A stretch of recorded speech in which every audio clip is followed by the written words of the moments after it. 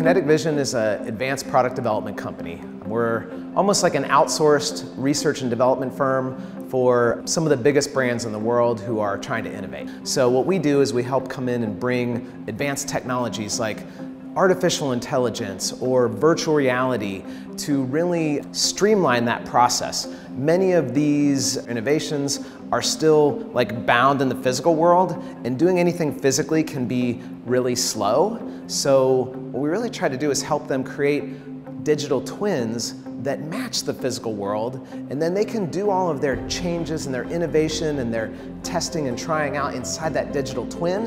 And then once they're to the point where they're 90% of the way there, they can then deploy that into the physical world and it becomes a whole lot easier and faster for them.